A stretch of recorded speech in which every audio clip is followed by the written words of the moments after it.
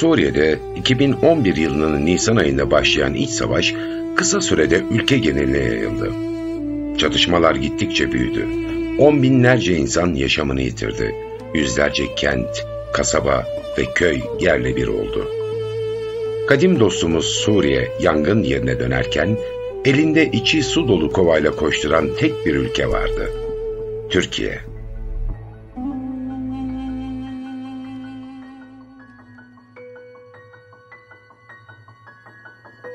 Yaklaşık 4 milyon Suriyeli mülteciye kapılarını açan ve ekmeğini bölüşen Türkiye, sınır bölgelerindeki saldırılar ve iktidar boşluğundan yararlanarak yuvalanmaya çalışan odaklara müdahale etmek üzere başlattığı barış harekatlarıyla pek çok Suriyelisi bile güvenli alanlar açtı. Azez yaşamın normale döndüğü o yerlerden biriydi. Halep'e bağlı bu yaralı kente yine Türkiye merhem olacaktı yeniden imar edilen yaşamın normal seyrine kavuşması için ummalı bir çalışmanın yürütüldüğü ve yaraların sarıldığı Azez'de savaşın belleklerdeki tahribatı da unutulmadı elbette. 2009 yılından beri Türkiye'yi, Türk dilini, tarihini, kültürünü ve sanatını tanıtma hedefiyle çalışmalarımızı sürdürdüğümüz, hem hal olduğumuz ilçede başkalarının aksine umutları tazelemek, kardeşliğin birlik ve beraberliğin gücünü hissettirmek için varız. E, iki hafta önce e, buraya gelmiştik. E, Kahramanmaraş'ta e, ilk konserimizi verdik. E, Adnan kardeşimizle annesinin kavuşması için e, gelmiştim, ziyaret etmiştim. Sonrasında o kadar güzel oldu, o kadar sıcak oldu ki bu etkinlik. Bu etkinliği hep birlikte Afrin'e, Aziz'e taşıyalım diye karar verdi Yunus Emre Enstitüsü. Ne ağlarsın benim zülfü siyahım şarkısını Kürtçe Arapça olarak buradaki kardeşlerimiz söyleyecek. Ben de e, Türkçe kısmını seslendireceğim.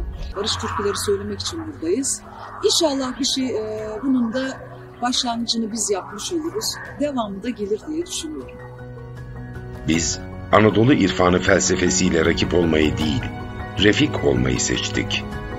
Yüzyıllar boyu beraber yaşadığımız kardeşlerimizi sadece yoldaş olarak değil, candaş olarak da destekledik. Birlikte yol aldık. Yeni hayata beraber adapte olduk. Bu kardeşlik girişimimizin son örneği Umudumuz Çiçek Açıyor Nevruz etkinliğiydi. Benim adım Yara. 18 yaşındayım. Afrinliyim. Nevruz için bir şarkı söylemek üzere Yunus Emre Enstitüsü'ne geldim. Terörden arındırılan kentte bahar şenliği kutlamalarımız barış ve kardeşlik duygularıyla gerçekleşti.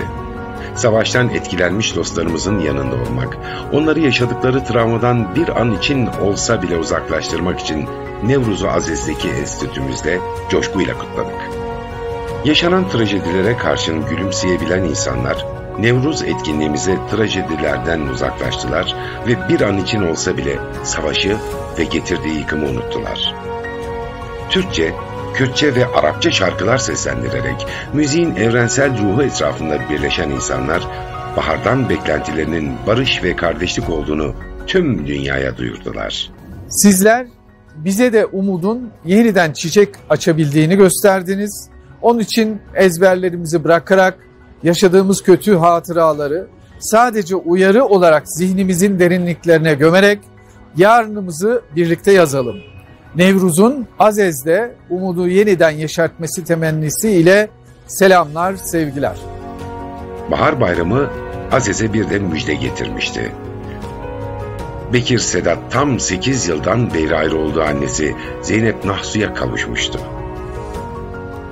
Ana ve oğlun yeniden bir araya gelmeleri Nevruz'u belki de ilk kez bu kadar anlamlı kılmıştı.